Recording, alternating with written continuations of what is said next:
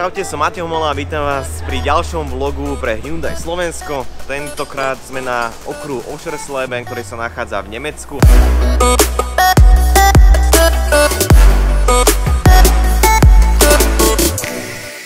Mám na ňo veľmi dobré spomienky, pretože som tu raz vyhral a raz som tu bol druhý. Trať vyzerá nejako takto, takto sme vlastne mali track takže toto teraz tieto zábery vidíte a takto vlastne ako pripravujeme sa na nasledujúce teda preteky eh, pred celým víkendom.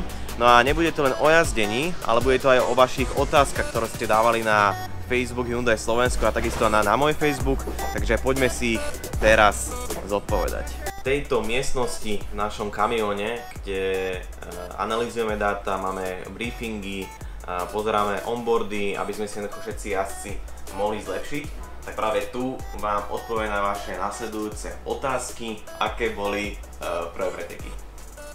No prvé preteky uh, sa dajú rozlíšiť medzi automobilové a, a motokarové.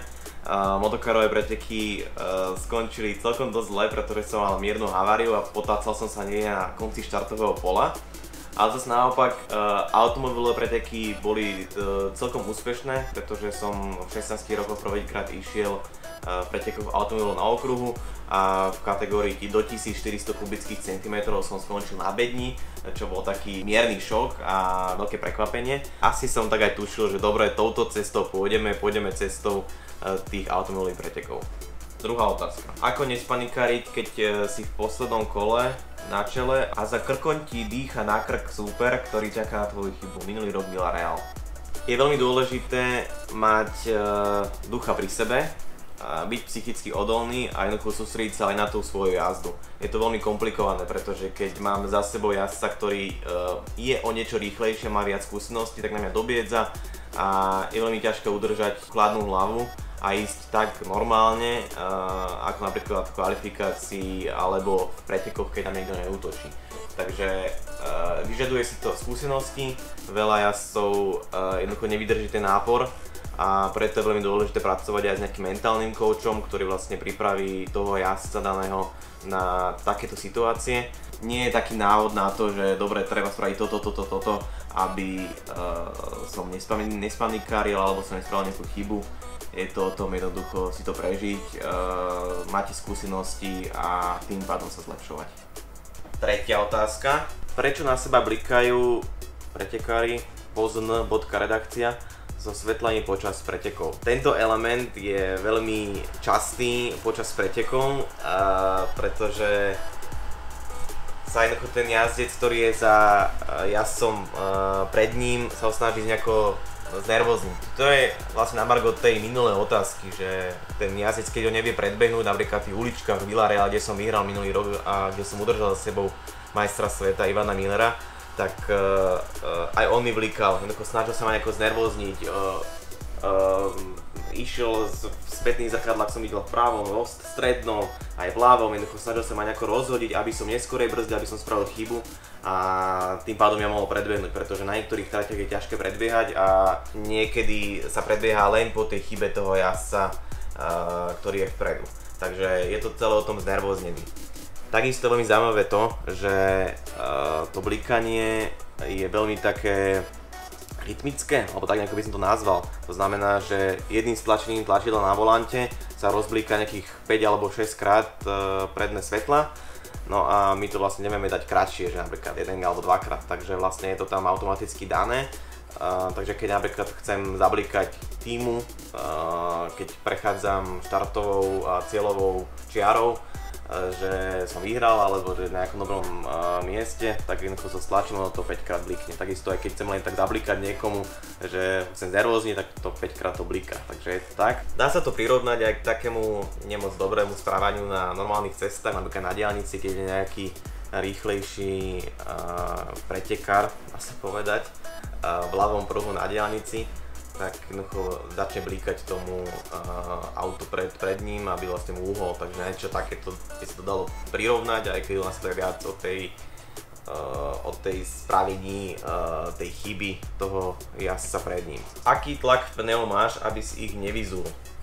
Mal som asi 3-2 a tretia zakruta lietali iskry. Každá pneumatika je iná, treba povedať, každá pracuje v inom eh, režime, dá sa povedať. Pretekárska pneumatika už 10 eh, takže my máme taký target, aj keď to je názov tohto týmu, ale jednoducho taký cieľ mať horúce pneumatiky na úrovni cca 2 barov, preto začíname niekde od 1.6, 1.7, keď vlastne vychádzame na tréning alebo do pretekov takže uh, ešte sa hýbeme možno 1.9, 1.8 alebo 2.1, 2.15 ale už viacej nejde. To je nejaký ten, ten uh, to rozmedzie od povedzme 1.8 do 2.2, kde tieto pneumatiky fungujú.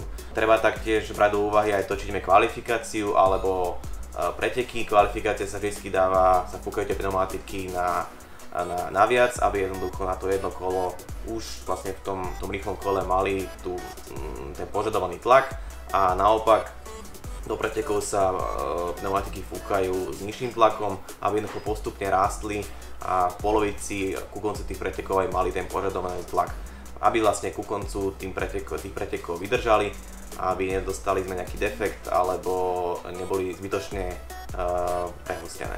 Ale ako som povedal, toto je uh, svet motoršportu a to tlaky sú oveľa nižšie ako uh, určuje výrobca na civilných pneumatikách pre vás.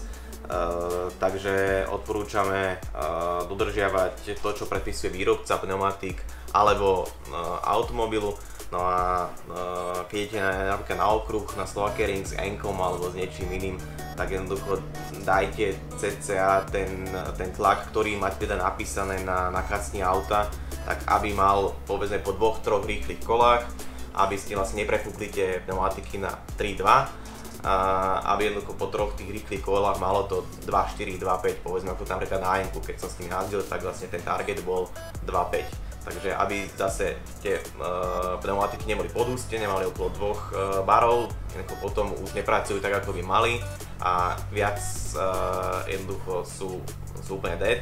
A takisto aj keď majú 3, 3, 2, tak jednoducho tiež uh, nepracujú v tom okne, ako by mali koľko litrov paliva sa minie počas jedného preteku víkendu Deto, koľko pneu. Tento pretekársky špeciál Hyundai i30 NTCR, alebo vlastne všetky auta TCR, uh, žerú veľa, to znamená cca 40 uh, litrov na 100 km. Uh, počas celého víkendu nám to vychádza okolo povedzme 200 litrov benzínu a pneumatiky minieme a pneumatiky minieme asi uh, 12 nových za Eh, celý víkend a k tomu ešte máme 4 eh, pneumatiky, ktoré si vlastne berieme z minulého eventu. A možno vás zaujíma, koľko stojí tieto pretekárske pneumatiky, takže jedna pneumatika Yokohama stojí 350 eur a 1 liter pretekárskeho paliva je na úrovni 3 eur za liter. Ďakujem za vaše otázky, no a ďalšie preteky ma čakajú v Barcelone, Španielsku už v septembri, takže sleduj všetky sociálne siete uh, Hyundai Slovensko a takisto aj moje sociálne siete. Čau.